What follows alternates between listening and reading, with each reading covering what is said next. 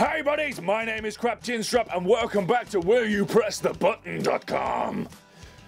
The game in which I answer life's most important questions, such as you are teleported to a land where people fight each other's Pokemon with their own Pokemon to win fame and money. But you can only return to this universe if you want to every 10 years. Hell fucking yeah, I'd do that! I want to be a Pokemon master, goddammit, who doesn't? Damn. Yeah, 65% of people agree with me. Hell yeah. awesome. That's a good start one. I like that one. You can join your favorite TV series, game, etc. But you can only be a villain. I think I'd make a good villain. I have a deep voice. And I have a very sinister face and I have full control of my eyebrows. Because that's what being a villain's all about. You're going to have a deep voice and control of your eyebrows. Uh, yeah. Hell yeah, I'd do that. 75% of people agreed. Yes. Cool. You can teleport anywhere you want, but your clothes won't come with you.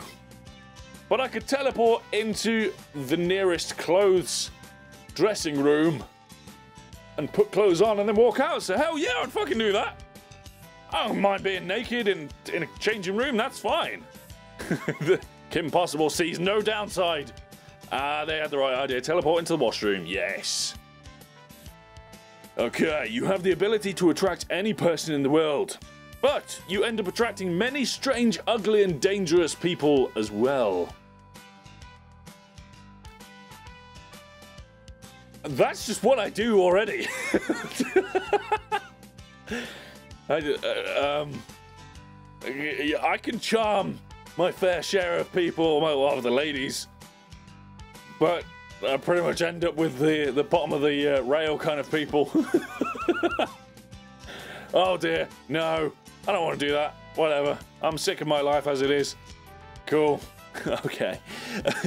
you are granted any wish you want and are given superpowers to fight monsters, but you will eventually turn into a monster yourself.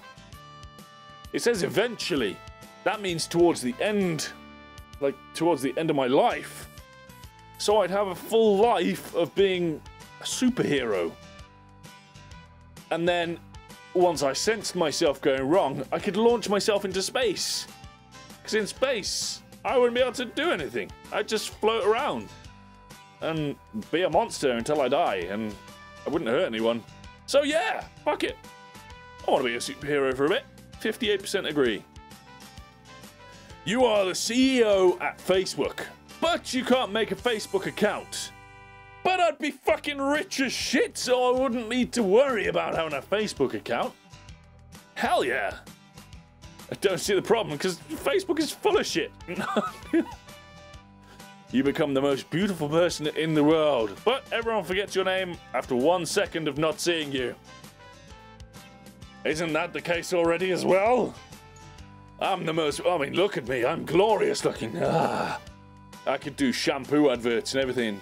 Yeah, L'Oreal for kids. what the fuck? Yes, I'd do that. Why not? That could be a stunner to all people. Right. You get to become Spider Man, Spider Man, but your uncle dies. That's fine. I'm not very close to my uncle anyway, so that doesn't really affect me. Yep, okay, cool. I'm happy with that. you can live in any fictional universe, but you'll be the opposite sex. Fuck yeah! So, I could be Catwoman in Gotham. That'd be that'd be fucking sick. But any fictional universe, oh god, who could I be? I could, I could be fucking anyone.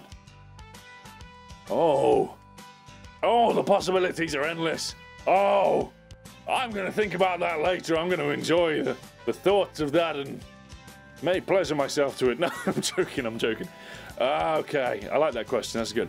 You get a genie lamp, but the wishes you use uh, well, the wishes you use, the genie uh, uses against you. What?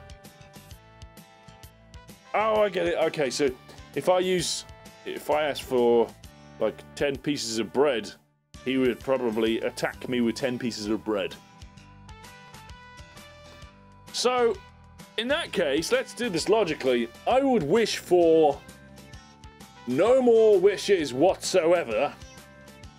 He'd use that against me and he'd give me infinite wishes. Because he wants to do the opposite of what I want. So then I'd have infinite wishes. And then I would say, I want you to hurt me after every wish that I make. Then he would never be able to hurt me. Um, and then I would say, I never want you to pay attention to any of the wishes I do and always use them against me. And then he would never use them against me again. Problem solved in three wishes. Sorted. Yes, I will do that. I wish for the downfall of humanity. Genie has humanity grow and prosper. Very good. Fair enough. That's another way of doing it. I would use one of my other wishes to do that. You and your lifetime crush are suddenly naked together, but it's in public. Yep, I'd do that. No question.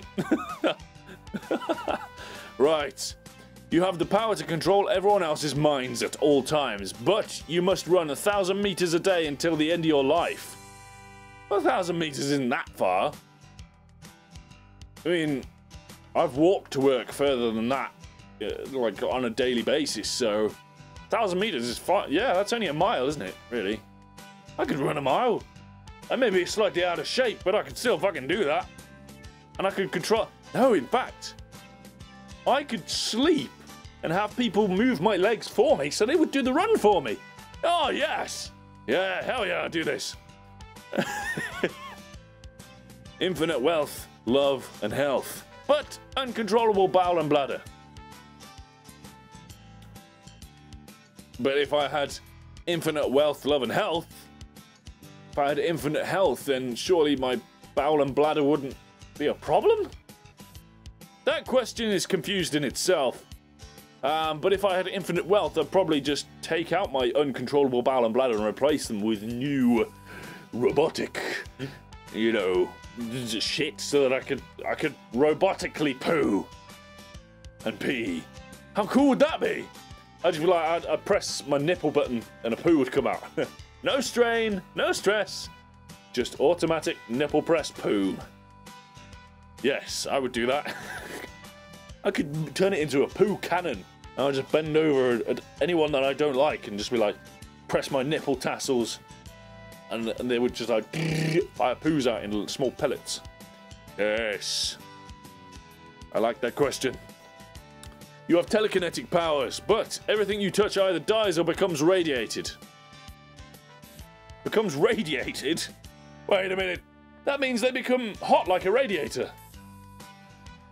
So there's a chance they could either die or become rather warm. That'd be kind of handy in a way, because, you know, I could just go to, like, Alaska or Iceland or something, where everyone's fucking freezing cold, and be like, right, here's your choice. You can either die or become warm for the rest of your life. What's your choice? And if they wanted to die, then fair enough, I'd kill them. That's, that's their choice. If they wanted to become, uh, like, have the chance of becoming warm, yeah, I touched touch them. Whatever. That's cool. But, hang on a minute. If I had telekinetic powers, surely I wouldn't need to touch anything. Because I'd just be like, boom, boom, boom, boom, boom, and everything would lift up for me and do all the shit. So I'd never, I, I would never really need to touch anything. And if I ever needed to have sex, then surely the condom would protect me from touching them? I don't know. It's difficult, but I'll do it anyway, whatever. I'm happy with that. Ah, that was good. 32% people pressed the button. But anyway, I'm going to leave this episode here. Thanks very much for watching. Like, comment, subscribe, and do what you YouTubers do. And I'll see you guys in the next episode. Peace out for now. Bye bye.